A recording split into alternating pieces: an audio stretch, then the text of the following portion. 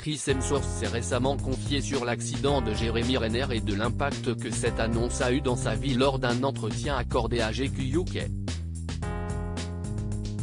Le 1er janvier dernier, Jeremy Renner a été victime d'un terrible accident de chasse-neige en essayant de venir en aide à son neveu.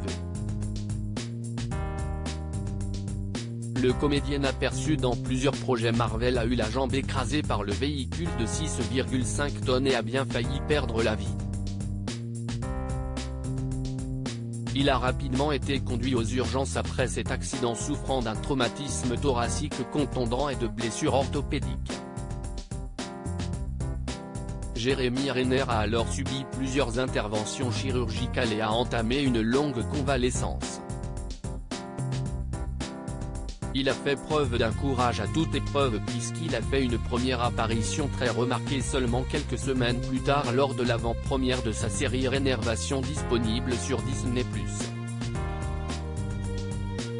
Nous étions tous sur notre groupe WhatsApp Avengers, Chris Hemsworth se souvient du moment où les membres du casting Avengers ont appris la terrible nouvelle Chris Hemsworth s'est récemment confié sur l'accident de son ami Jeremy Renner et de l'inquiétude des membres du groupe Avengers dans un entretien accordé à GQ UK. En effet, les deux comédiens sont membres d'un groupe WhatsApp avec Chris Evans, Robert Downey Jr., Scarlett Johansson et Mark Ruffalo, les comédiens du premier film Avengers. L'annonce de ce terrible accident a quelque peu désemparé les acteurs comme l'a confié Chris Hemsworth. Nous étions tous sur notre groupe WhatsApp Avengers, nous discutions tous. Et c'était violent. Aucun de nous ne savait vraiment à quel point c'était grave, a-t-il confié. Je pense qu'avec quelque chose comme ça, on réalise immédiatement waouh, n'importe lequel d'entre nous peut y aller à tout moment. Point, nous arrivons maintenant à l'âge où nous allons commencer à perdre les gens que nous aimons. Je ne pense pas que je veuille avoir 40 ans, Chris Hemsworth se confie sur sa crainte de vieillir et de la mort pendant cet entretien, Chris Hemsworth a évoqué sa crainte de vieillir à l'approche de ses 40 ans.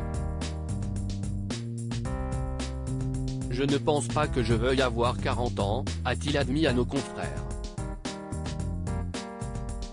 J'ai toujours l'impression d'avoir 25 ans et d'avoir encore beaucoup de temps. Maintenant, je me dis oh, je pourrais être à mi-chemin.